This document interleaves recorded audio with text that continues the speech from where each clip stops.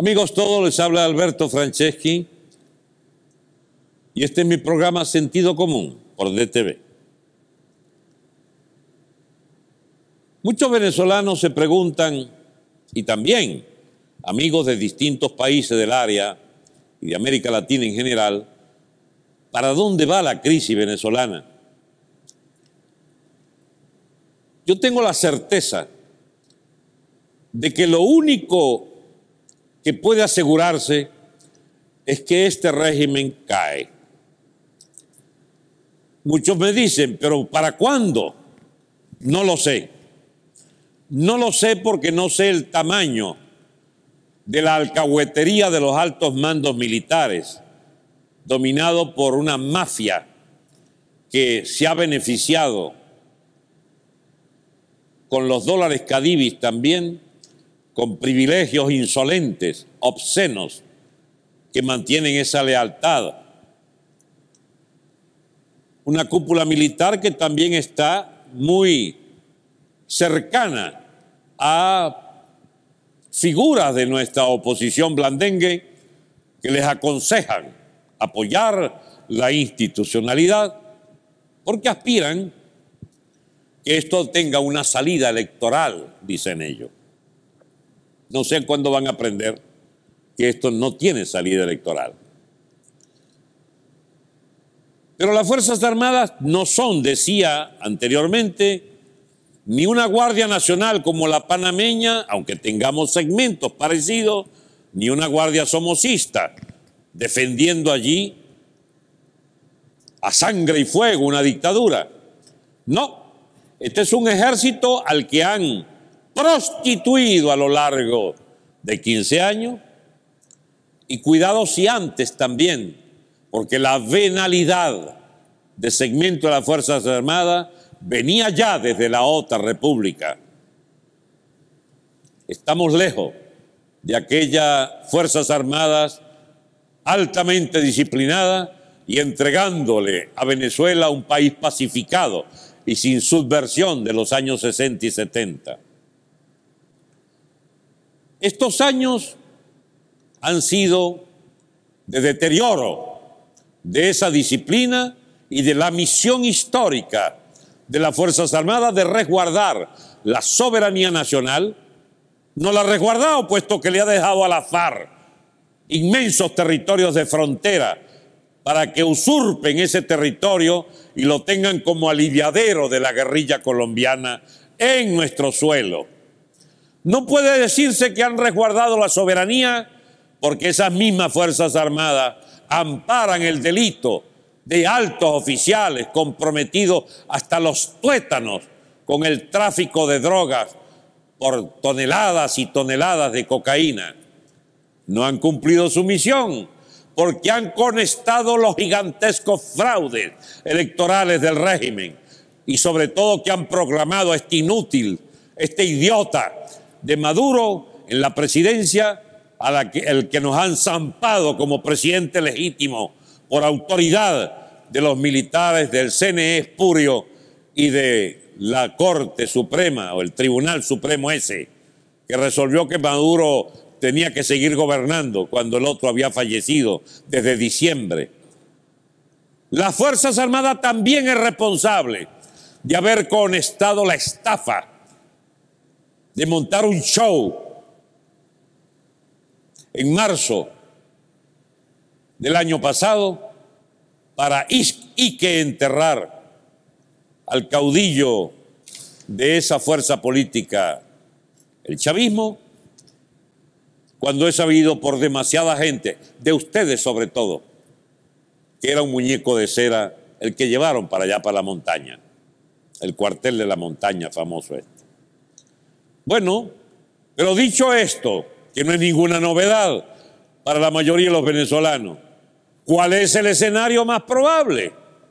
El escenario más probable, mis amigos, es que la crisis venezolana, que va a seguir latente, y el gobierno matándonos gente, matándonos jóvenes, y manteniendo el caos económico, el peculado masivo, el desorden financiero el asalto a los dineros públicos que llevan al desabastecimiento, a la penuria, que llevan a las privaciones de millones y millones, que ya no hayan cómo sostenerse, cómo mantener su familia, niños sin leches desde hace meses y meses y meses. El símbolo de ese gobierno, que es casi, eh, digamos, motivo de mofa mundial, un gobierno que no garantiza ni papel toalé, Dios mío. Porque se roban todo. Hay papel toalé en toda América Central, por cierto, llevado desde Venezuela y particularmente en Honduras, me dijeron. Pero en Venezuela no hay. Bueno, o encargan a la Polar también de fabricar papel toalé, o no sé qué va a pasar, porque papel toalé no va a haber mientras Maduro esté allí. A lo mejor esto sirve para que sí lo traigan. Bueno, si el gobierno se mantiene con su dosis cotidiana de represión, de salvajismo de sus bandas nazis, llamadas colectivos revolucionarios, si el gobierno se mantiene zumbando a la hambruna a la mayoría nacional, esto va a convertirse en una crisis internacional. Obama está en un año electoral, puede perder las elecciones de noviembre, tiene 40% en las encuestas. A pesar de que la economía norteamericana ha mejorado mucho, Obama va para abajo. ¿Y a qué se debe? Se debe a que la sociedad americana percibe que parece que la MUD le hubiera hecho un curso a Obama porque se ha convertido en un presidente blandengue que todo el mundo juega con él a nivel mundial. No garantiza los intereses americanos y quisiera él, pero no puede meterse en un lío como el de Crimea, donde la mayoría, lógico, que es rusa, acaba de votar que ella quiere seguir siendo rusa. Es decir, que el lío de Ucrania, el lejano lío de Ucrania, difícilmente pueda el señor Obama irse a meter por allá. Lo de Siria más le vale no meterse, porque es una guerra civil del sanguinario este, amigo de Chávez y amigo de Maduro, el Asaz ese que ha matado dos, trescientos mil sirios. Estados Unidos va a irse a meter allí, en ese enorme polvorín que es la Siria, insurrecta, pero al mismo tiempo de genocida en el poder. Yo no creo. Eso es algo que le compete más directamente a los propios países árabes y a Europa. Estados Unidos, por su parte, ha ido retrocediendo a su, digamos, escenario más cercano en el punto de vista energético, por ejemplo, anda planeando hasta suspender las importaciones petroleras venezolanas y reducir drásticamente las de Arabia Saudita con una inmensa producción nueva de gas natural y de petróleos del Golfo, además de una importación masiva de petróleos pesados que ya procesan desde Canadá. ¿Por qué digo todo esto?